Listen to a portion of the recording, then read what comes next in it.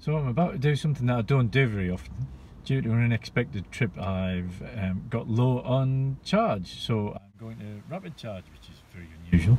Um, so let's see how we do this. So as you can see, I'm down to 13 miles of range, and it's 20:08 at night.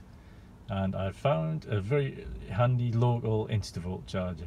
So let's go and see how easy it is to do this. So it very handily says connect plug to car and it's a I don't have to have any cards or anything like that. It is a contactless payment. So I'll contact it, I'll connect it to the car first. I've already opened the door.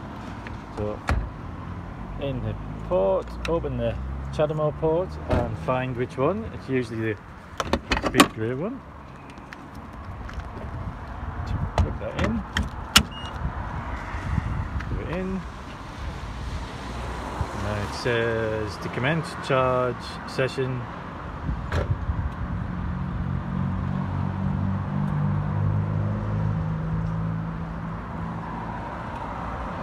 just do that.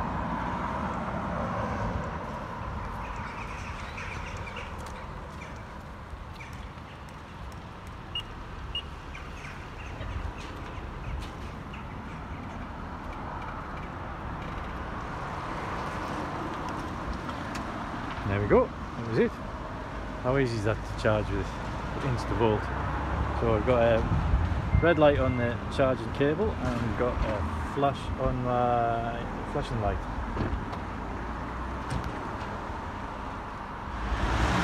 So as you can see, quite simple. Contactless is definitely the future, so um, we'll keep an eye on how quickly this charges as well. Just having a look and seeing what data it comes up with on the screen.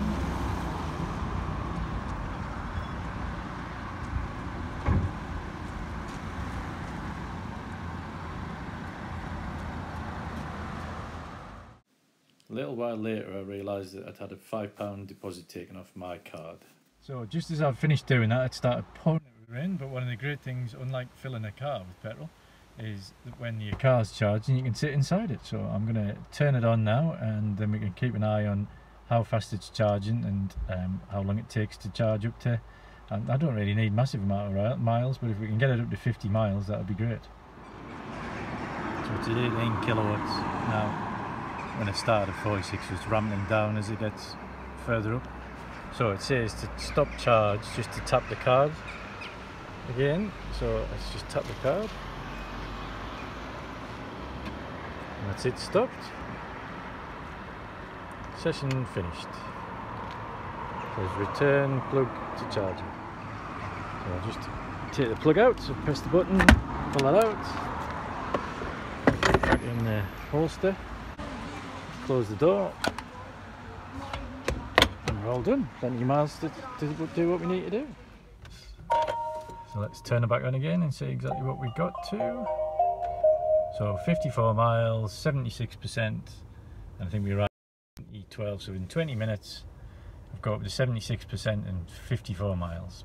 Exactly what I needed. So that 20 minute charge gave me around 41 miles of extra range.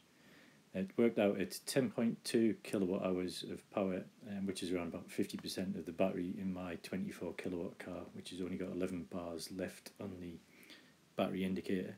And it cost, as you can see, £3.56. So I will definitely be back at Instavolts again because the experience was great and it charged as fast as I wanted.